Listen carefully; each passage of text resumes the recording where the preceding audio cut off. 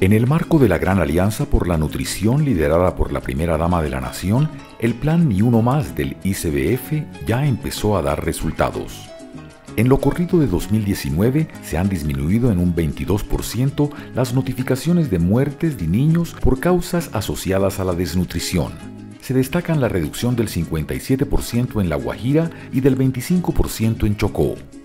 En este esfuerzo, el país contará con cuatro nuevos centros de recuperación nutricional en norte de Santander, Risaralda, Bichada y Cesar, que se suman a los 10 que ya están en operación. Justamente en Puerto Carreño pusimos en operación un nuevo centro de recuperación nutricional donde atenderemos a 10 niñas y niños mensualmente. En nuestros centros, los niños reciben alimentación en los tiempos adecuados para que su cuerpo no la rechace mientras recuperan su talla y peso adecuado.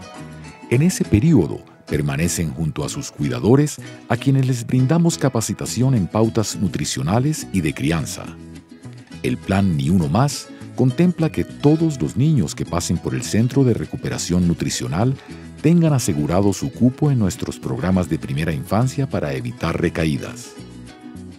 Se le dio prioridad a Bichada ante el incremento en el número de muertes de niños por enfermedades asociadas a la desnutrición, que en lo corrido del año llega a nueve casos, tres más que en el mismo periodo del año anterior.